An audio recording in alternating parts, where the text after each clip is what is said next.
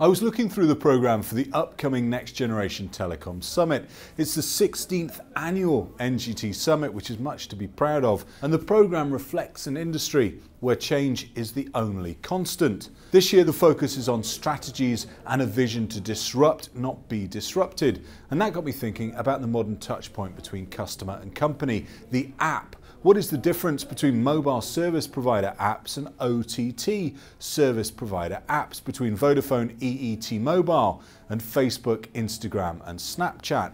For me, it's the customer experience. The OTT service provider has nailed the mobile first experience better than the mobile service provider, which reminded me of a great blog by my colleague Ben Thompson. Ben asked a number of telco executives why can't telcos get customer experience right? There's a lot more detail in the blog, but one reply in particular caught my attention. As a rule, telcos are not good at customer centricity. It's just not in our culture, said one telecoms exec, head of consumer innovation for a major European operator. If the industry is serious about wanting to disrupt and not be disrupted, maybe that quote should be the starting point for our discussions.